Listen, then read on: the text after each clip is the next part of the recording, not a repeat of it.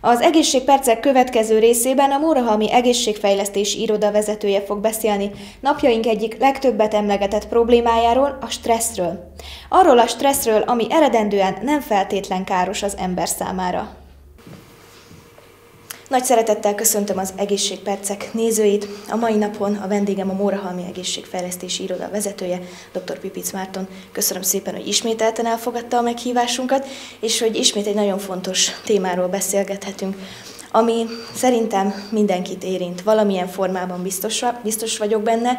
A stressz lesz a mai témánk. Ha kimondjuk ezt a szót, hogy stressz, akkor mindenkinek gyanítom én negatív dolgok jutnak az eszébe először. A problémáink, a gondjaink, a, az, az idegeskedés és egyáltalán ennek a, ennek a fizikai, lelki tünetei. De alapvetően azért a stressz, ami miatt az embernek a része, az nem feltétlen negatív. Mi is a stressz valójában? Üdvözlöm én is a nézőket. Így van, nagyon fontos először tisztázni magának a stressznek a fogalmát úgy kell képzelni, hogy a szervezetünk egy egyensúlyban van, hogy a rendelkezésre álló erőforrásainkkal mi meg tudunk küzdeni a minket érő problémákkal, körülményekkel kapcsolatban. Stressz az akkor alakul ki, amikor minket olyan körülmények, hatások, ingerek érnek, amelyek szeretnének kibillenteni minket ebből az egyensúlyból, és változásra kényszerítenek minket. És hogyha mi úgy érezzük, hogy ezt a változást nem tudjuk megtenni, a rendelkezésre álló erőforrásaink nem elegek ahhoz, hogy ezt a, változást meg tudjuk tenni, akkor érezzük általában azt, hogy az az adott inger vagy hatás, az stresszt okoz bennünk. Nagyon fontos elkülöníteni azt, hogy van valamilyen stresszt kiváltó hatás, ezeket stresszoroknak nevezhetjük, és a másik oldalt pedig ott vagyunk mi emberek, akikben kialakul egy válaszreakció erre a stressz hatásra. És lehet különíteni, és ezt szokták is mondani, hogy jó stressz, vagy rossz stressz. Ha belegondolunk, hogyha például elmenjünk egy vizsgára, vagy vizsgázni szeretnénk, akkor, vagy egy házasságkötés előtt például, akkor azért ott, ott, ott bennünk van egy olyan fajta izgalom, és ez jó stressz, ami segít minket felkészíteni arra, hogy egy új helyzettel meg tudjunk küzdeni és ezt abszolút jó stressznek tekinthetjük. Seje János is úgy fogalmazott, hogy a stressz azért a, a, az életnek a, a sója, borsa. Tehát egy íz tud adni a mi világunkban, és éppen segítségünkre tud lenni bizonyos helyzetekben.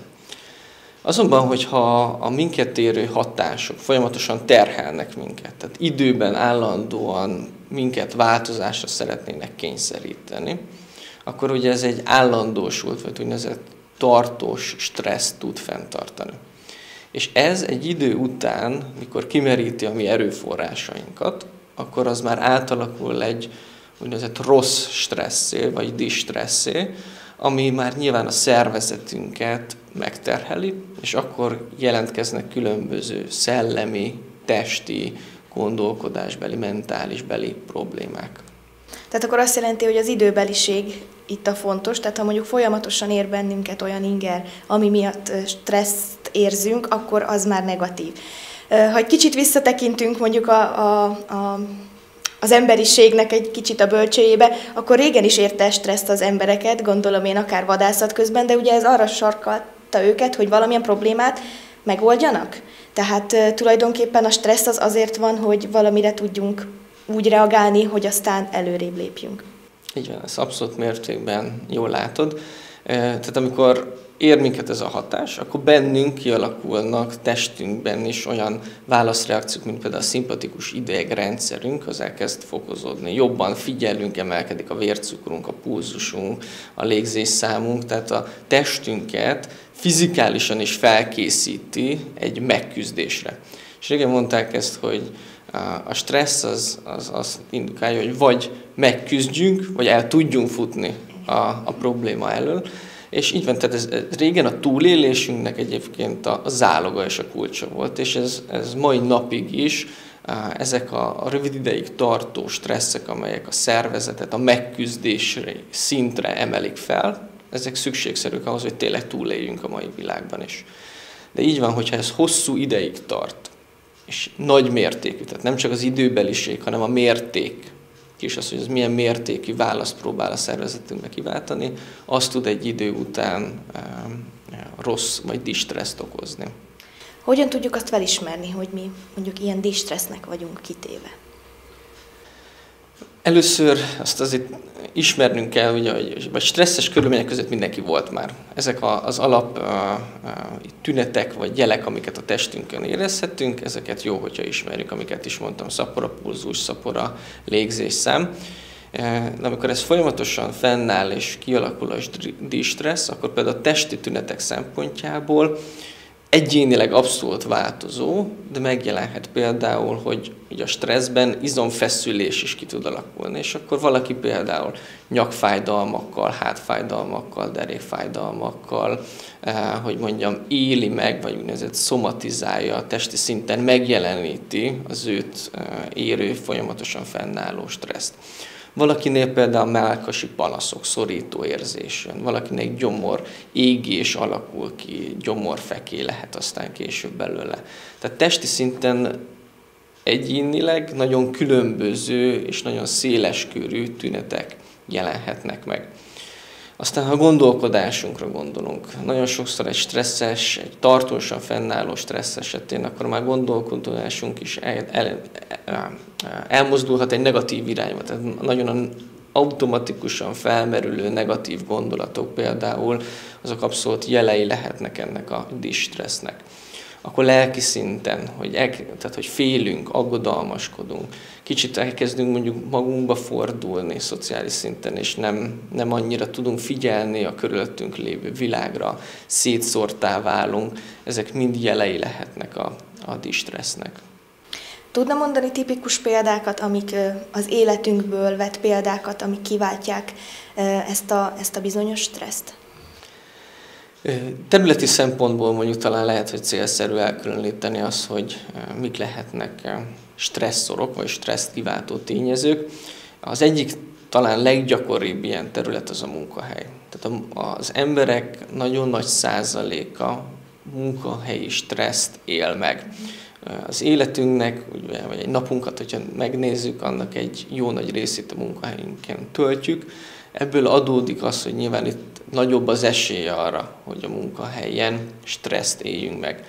És a munkahelyi stressz mindenki, ha belegondol a saját életébe, többfajta olyan tényezőt is ki tud emelni. Az, hogy állandó határidők vannak, hogy a, a tőlünk elvárt munkamennyiség az nagyobb, amivel mi úgy érezzük, hogy meg tudunk például eh, küzdeni, vagy amit mi például meg tudunk, vagy el tudunk végezni.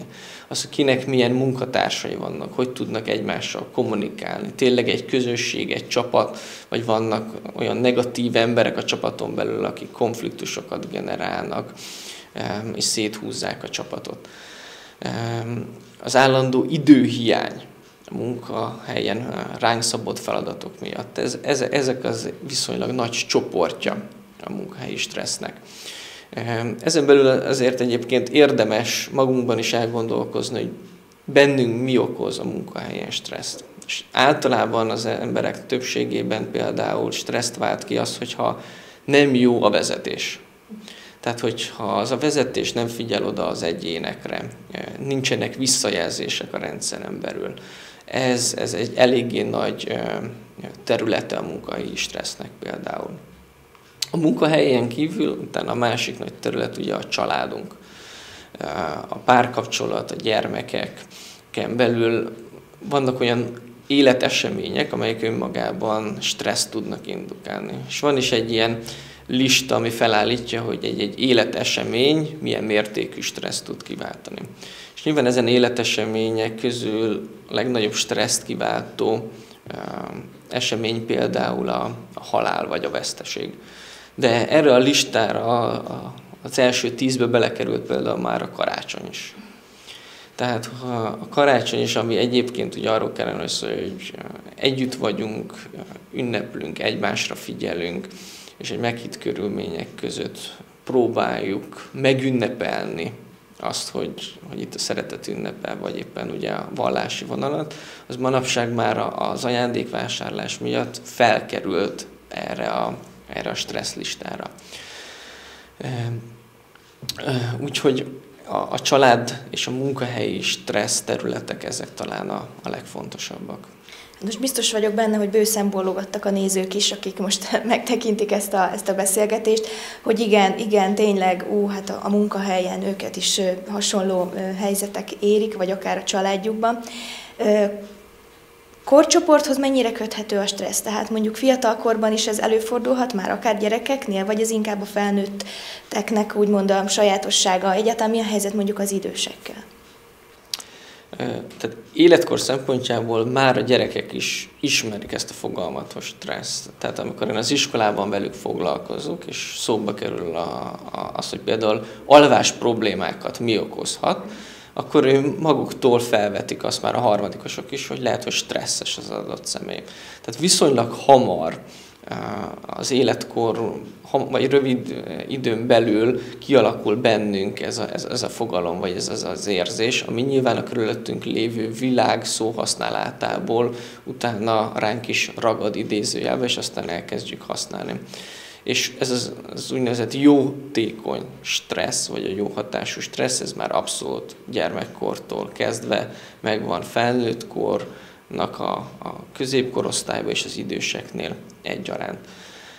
Az, hogy az a stressz az tényleg tartósá, állandósultá válik-e, ami kimeríti a mi erőforrásainkat, és ilyen az előbb említett testi, vagy akár lelki tüneteket okozhat, azok azért elsősorban a, a felnőtt korosztályra jellemzők, tehát egyetemisták, és a munkában eh, élőkre jellemző ez az állandósult tartós stressz.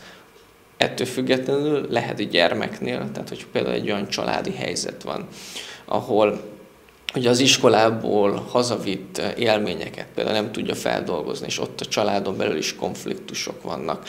Eh, az nyilván az ő erőforrásait hamarabb kimeríti, tehát gyermekeknél is abszolút mértékben előfordulhat, de arányosan inkább a felnőttekre jellemző ez. Említett itt sokféle tünetet. Na most ezekkel a tünetekkel meddig lehet együtt élni? Milyen esetek lehetnek, amik stressz által kiváltott komoly, komoly betegséget okozhatnak akár? Amiket itt elmondtam, ezek ugye tünetek voltak. Tünetek, vagy éppen panaszok, hogyha fejfájásról beszélünk, vagy gyomorégésről, vagy mákasi szorítás érzésről. Ezek hátterében nem csak az van, hogy mi így éljük meg gondolati szinten, vagy szellemi szinten ezeket, érzelmi szinten, hanem egy idő után a testünkben ténylegesen sejtszinten is változások alakulnak ki. Az immunrendszerünk is például gyengül, fokozódik ugye stresszben a vércukor szintünk. Tehát egy folyamatos stressz például a cukorbetegségnek a kialakulását elő tudja segíteni. Szívinfarktusnak a kockázatát növeli. Daganatos megbetegedések szempontjából is növeli ezeknek a, a lehetőségét. A mentális betegségekről, ide beleértem például a depressziót, a, a, pánikzavart, a, a krónikus, azaz hosszú ideig fennálló szorongás is például, eznek a tartós stressznek a, a végállapotai lehetnek. Elég szépen körbejártuk és föltérképeztük magát a stresszt, de hogy mit tehetünk ellene, az még csak ezután következik, ami miatt tulajdonképpen itt vagyunk, és talán ez a, ez a legfontosabb része lehet a beszélgetésnek, hogy miután ezt felismertük, vagy valaki felismeri, hogy a családtagjának, esetleg barátjának ilyen problémája lehet, akkor hogyan lehet ezen változtatni ezen a helyzeten? Mindenképpen mondjuk meg kellene szüntetni a stresszt hozó ingereket, vagy, vagy lehet ennek más módja is? Hogyha jó stresszről beszélünk, akkor abszolút, mivel ugye ez a mi túlélésünknek a záloga, ott nem megszüntetni, fel kell ismerni, hogy igen, hogy én a vizsgálót most izgulok, ez stressz, de éppen ezért ez azért van, hogy segítsen nekem a minél sikeresebb vizsgázást. Tehát ebben az esetben fontos ezt felismerni, és ezt megfelelően tudatosan használni. Amikor tartós, és ez úgynevezett rossz stressz van, akkor magunkban kell egy e, tudatosítást és egy elemzést elvégezni. Az egyik ilyen fontos dolog, hogy felmérni azt, és lehet készíteni egy ilyen leltárt arról, hogy mik azok, amik bennem stresszt okoznak. És ezt lehet naplózni például, hogy a munkahelyemen ekkor, amikor ez történt, én ezeket éreztem. És egy idő után ki tudjuk magunknak alakítani ezt a stressz leltárt, a stresszor leltárt, amikor látjuk azt, hogy tényleg mik okozzák bennünk a, a, a stresszt. És aztán érdemes elgondolkozni azon, hogy, és feltenni magunknak a kérdést, hogy most érdemes-e ezen a dolgon nekem stresszelni. Tehát ha például egy dugóban vagyok, és ott, ott körülöttem látom, hogy már alig tudok, ha előre haladni, meg akarnak előzni, be akarnak vágni, ezzel most fel kell tenni magunknak, érdemes -e ezen most stresszelni. És utána az lesz egy kérdés, hogy ha érdemes ezen stresszelni, akkor meg tudom-e változtatni ezt a helyzetet? Tehát lehet-e hatásom arra, ami kiváltja bennem a, a stresszt? Nyilván a dugót azt nem tudom megoldani. De egy munkahelyen például, hogyha rendszeresen a konfliktus abból adódik, hogy nem tudok mondjuk egy nemet mondani a munkatársamnak, és ez a munkatárs lehet éppen akár a, a vezetőm, a főnököm is, nem tudom neki megmondani, hogy most éppen nincs kellő mennyiségű időm vagy energiám megoldani. Tehát ez egy olyan eset, amire nekem lehet ráhatásom. Tehát ez a másik kérdés, hogy érdemes. Ha érdemes, akkor, akkor van-e ráhatásom. És ha van ráhatásom, és úgy gondolom, hogy számomra ez fontos, hogy én ezen módosítsak, akkor bizony, amit felállítottam, ez a leltár, ez a stresszon leltár, akkor megpróbálom magát a problémát megoldani. Ezt nevezik probléma központú stresszkezelési eh, megoldásnak például, vagy lehetőségnek. Ezek csak bizonyos körülmények között valósíthatok meg. De ha kezelhető, és van rá hatásom, és ez fontos nekem, akkor igenis a problémát meg kell oldani. Említettem itt például, hogy nem tudunk nemet mondani. Gyakorolni kell, és lehet fejleszteni a kommunikációs képességeinket, és az asszertív kommunikáció, az például pont ezt próbálja segíteni, hogy tudjunk nemet mondani úgy, hogy azzal a másik felet nem bántjuk meg. Ugyanakkor érvényesítjük a mi szándékunkat, hogy például azt az adott feladatot nem szeretném elvégezni. Vagy ha tudom azt például, hogy a, a, az időbeosztásom és a szétszórtságom okoz bennem stresszt, akkor bizony gondolkozzak el azon, hogy egy hétre, két hétre, három hétre be tudok-e megfelelően ütemezni bizonyos dolgokat, időgazdálkodással tudom-e az időhiányomat egy picit rendezni. Azonban, hogyha az a válasz magunkban, hogy nem érdemes ezzel foglalkozni, vagy ha érdemes is lenne, de nem tudom a helyzetet megváltoztatni, akkor viszont a problémát nem fogom tudni megoldani. Éppen ezért akkor magamba kell egy picit átértékelni és elkezdeni azon gondolkozni, hogy ami van hatás, az bennem hogyan alakít ki, hogyan alakítja ki ezeket a válaszreakciókat.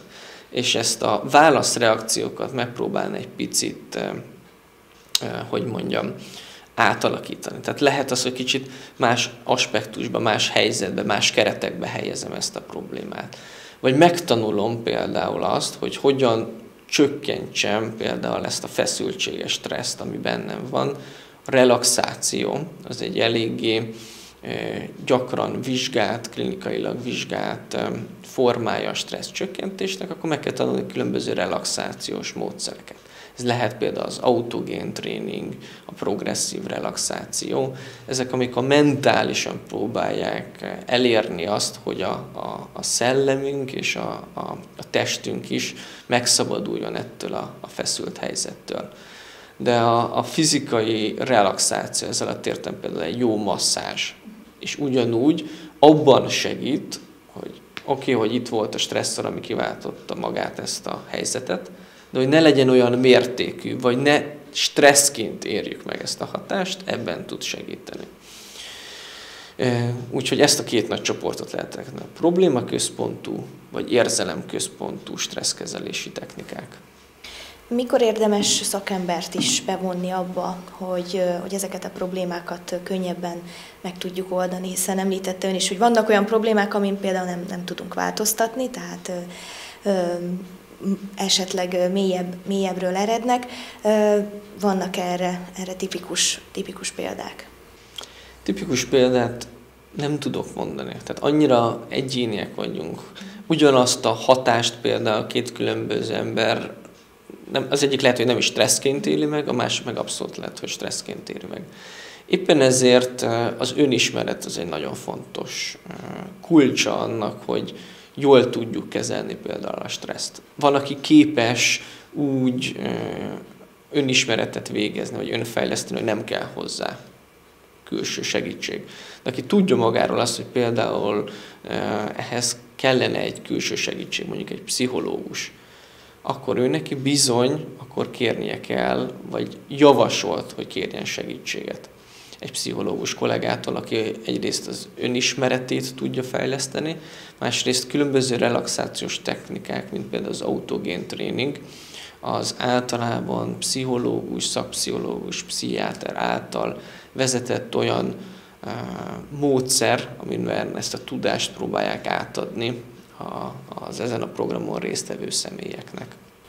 Mi a helyzet azokkal a személyekkel, akik hát most lehet, hogy ez rossz szó, de hogy még nem hisznek ebben, hogy mondjuk ő elmegy egy pszichológushoz, és attól ő neki megoldódik a, a problémája. Nem tudom én, hogy mennyire jellegzetes dolog ez, vagy manapság ez már a pszichológus az már olyan, mintha fogorvoshoz mennénk, annyira természetes. Mi a tapasztalata, akár mondjuk itt a térségünkben, hogy ez mennyire elterjedt? Korábban mondjuk tíz évvel ezelőtt maga ez, hogy pszichológia, pszichiátria, ez nagyon egy ilyen távoli, és, tehát távoli fogalomnak, és, és tőlünk távol álló fogalomnak tűnt, és az emberek nem voltak kellő mértékben nyitottak ezekre a területekre. De az utóbbi öt évben azt tapasztalom, és azt érzem én is a, a, a mindennapok során, hogy egyre bátrabbak vagyunk, és egyre jobban próbáljuk keresni ezeket a, a szaksegítségeket. De természetesen el kell fogadni, hogy vannak olyanok, akik nem hisznek ebben, vagy nem mernek elmenni, akkor őnekik azt javaslom, hogy próbáljanak olyan megküzdési lehetőségeket találni, amihez nem kell szakember. Például maga a rendszeres sport, az önmagában segíti a feszültséglevezetést, hogyha azt olyan mértékben tudjuk végezni, a számunkra örömforrás lesz, akkor ugye az segíti utána későbbiekben a, a jobb megküzdési lehetőségeket. Tehát keressenek az emberek megfelelő örömforrási lehetőségeket az életükben. Ez lehet az, hogy fűzök például egy nagyon jót, vagy elmegyek a barátokkal, akkor, akkor sétál. Tehát örömforrás próbáljunk megkezelni, és az, vagy keresni, és azért mondtam, hogy jó örömforrást, mert bizony ugye van, aki alkohol vagy dohányzás eh, eszközével próbálja meg a, a stressz csökkenteni. A Morahalmi Egészségfejlesztési Iroda hogyan tud az ilyen jellegű problémákon segíteni? Lehet-e önökhöz fordulni, hogyha valaki azt gondolja itt a térségben, hogy ő neki nagyon stresszes az élete? Az egészségfejlesztési irodánk elsősorban közösségi programokat próbál szervezni. Autogén tréningünk itt a térségben most éppen ülésen zajlik, de volt itt Mórahalman, és tervezünk a különböző településeken autogén tréninget tartani. Akkor most szerdán, és későbbiekben itt Mórahalmon, Zákányszéken, valamint Rúzsán a praxis közösséggel együtt dolgozva próbálunk olyan csoportos foglalkozásokat tartani, aminek a központjában a stressz van. Felismerni a stressz, milyen stresszkezelési lehetőségek vannak, időgazdálkodás például, tehát lesznek ilyen közösségi programjaink. És ugyanakkor, hogy azért valaki mégis úgy érzi, hogy egyéni segítségre van szüksége, akkor az egészségfejlesztési irodánkban is van lehetőség elsősorban szenyoroknak segítséget nyújthat idősebb embereknek bizonyos helyzetekben, főleg krízis helyzetekben segítséget nyújtani. Ugyanakkor a praxis közösségekben is dolgozik eh, mentális szakember, pszichológus szakember, tehát érdemes például a házi orvosokat megkeresni, és megkérdezni, hogy pszichológushoz tudnak elmenni segítségért. Nagyon szépen köszönöm, hogy mindezeket megosztotta velünk. Tehát a lényeg az, hogy próbáljunk jó örömforrásokat szerezni magunknak, bár lehet, hogy ez kicsit túl le van egyszerűsítve, természetesen azért ez egy komplexebb dolog, de ha már ennyit is megjegyeztünk, már, már az is nagyon jó, és hát akkor forduljon bátran mindenki a Múralmi Egészségfejlesztési Irodához, nem csak ilyen jellegű problémával, hiszen számos más programmal várják a térség lakosságát. Köszönöm szépen ismételten. Én is köszönöm szépen. Viszontlátásra! Készült Magyarország kormánya megbízásából az Európai Unió támogatásával.